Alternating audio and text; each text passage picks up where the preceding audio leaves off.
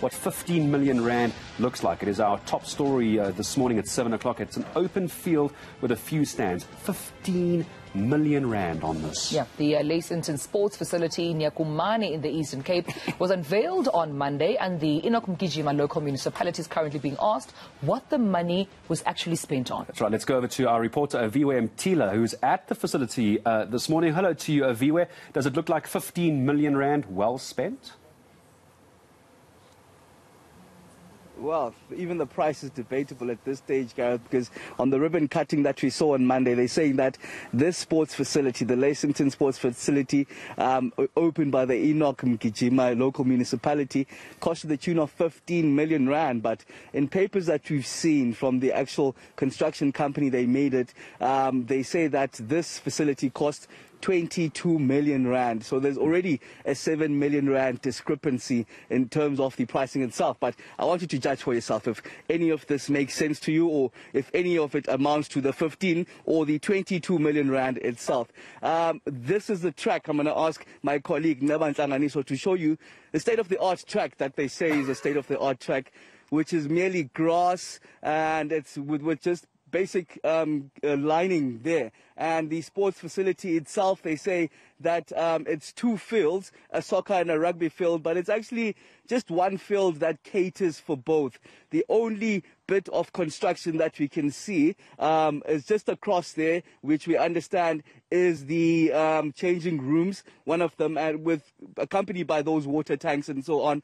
And then on the side is two stands uh, um, for the audience here. All of this is said to have cost some 15 to 22 million rand, something that we want to catch up with with the Enoch Mgijima local municipality. Uh, it looks some shoddy workmanship. Um, um, uh, you judge for yourself, but from what I can see at this very moment, the numbers do not add up. In fact, I'm going to bring in someone who's quite vocal when it comes to the sports fraternity in the Eastern Cape, uh, Phumelele Hlathi um, who was here when this facility was opened on the Monday. Thank you for joining us at ENCA Butwam.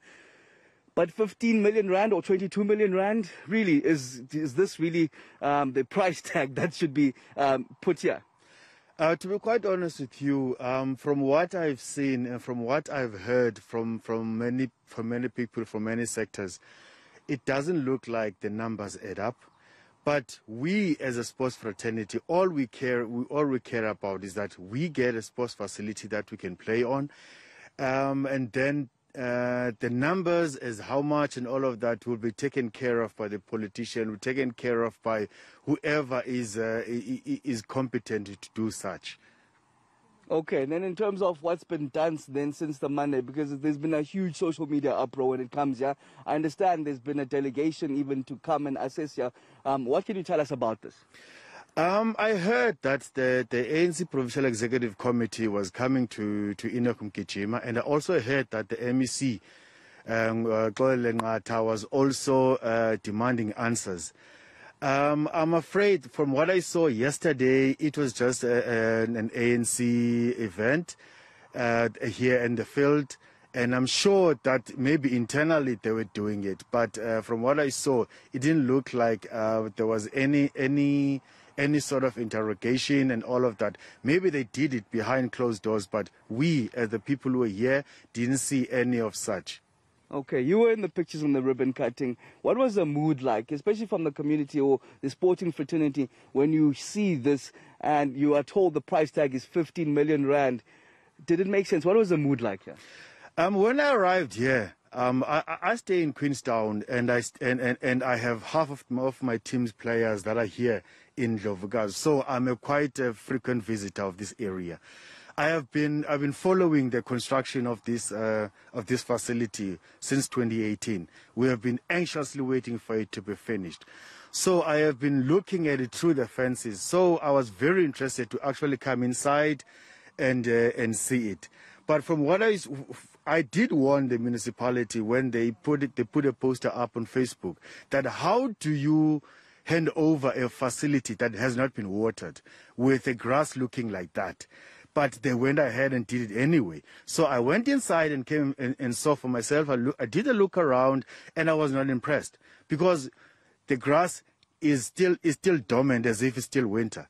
And when I then said that, okay, let me just look around at other fields in, in, in the in, in the town, and I saw them; they were all green, which meant that this one could have been green as well.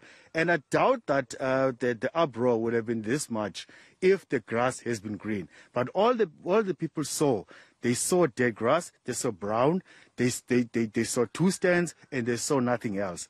But as a community that, that, that has been starved of any facility, we, we, we are grateful. But that doesn't necessarily mean that we are satisfied with what we are seeing. What does the municipality say to you then when you um, raise these concerns? I'm looking at the soccer post this very moment. You from the soccer fraternity, it looks like it's okay, but the poles, the rugby poles, are actually down this very moment. What's the municipality saying um, when you raise these questions? Before the launch or, or the handover, I asked them two things. Do you have a maintenance plan? The answer was no, we're working on it. Uh, secondly, I asked them where are the netball courts. I was told that they, they are in the plans, but there, there, there was a cut in, in, in, in the budget, and, and then now they are only delivering what we have here. I'm also involved in rugby, and I saw the post, uh, and, I, and I imagine when there is when when there is wind, what will happen to those posts? So I did raise a lot of these things with them. And I've been, ra- we, we as a sports fraternity, we've been raising these things with the municipality because everywhere they go, they will build something up and then two or three years down the line, it's broken down. I'll take you around Queenstown and show you the, the other facilities where millions were spent, but there was no maintenance, maintenance plan. Okay, we'll be sure to join you just now. Uh, I can see this facility on its own. Already the posts look like they can't even stand up. Those rugby posts um, some of the 15 to 22 million rand that we understand um, came to the construction of this place. I actually want to go through some of what how they justify it, Gareth, because after that social media storm, the ribbon cutting that they post on their Facebook page, they came out to try and clarify um, what amounted to the 15 million rand. So they say the erection of a 780 meter palisade fencing, which we see around here, but I'm not sure how much that would cost. A construction of a rugby and a soccer field, but it's actually a two in one. It's both a rugby and a soccer field at the same time without proper lines even the rugby poles as i mentioned aren't even standing up correctly um, this very moment they say that rock blasting was undertaken as the area comprised mainly of hard rock which had to be removed to allow for construction, earthworks, uh, excavation and leveling of the ground. The field itself is not level. I mean, they talk of the, um, they talk of borehole drilling. Borehole drilling, I understand, shouldn't even cost more than 15 to 20,000 rand. Uh, the ablution facility, two blocks, construction of a 14 uh, toilets and eight shower.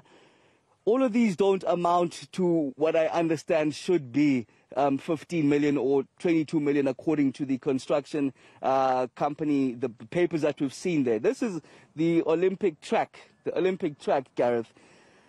I'm, I'm just lost for words. It only has two stands and only two buildings with what we know are Jojo tanks, which have been mentioned here as well, um, part of the uh, shower and bench, rainwater catchment area. So a lot of questions still need to be answered from the municipality itself. We understand the COGTA MEC, uh, Kolile Ngata, is seeking questions uh, themselves. We ourselves have reached out to Lonwabo Kowa, who is the spokesperson of the municipality, hoping to talk to him at the top of eight, just to get more clarity as to exactly um, what happened to the money. Is it the 15 million rand that the municipality put out, or is it the 22 million rand that the construction company themselves uh, put up? So we'll be keeping you um, abreast with all those developments, hopefully going to um, the other sports facility that Pumela Hlathi mentioned here as one of the people that are uh, eagerly involved in sports around Queenstown.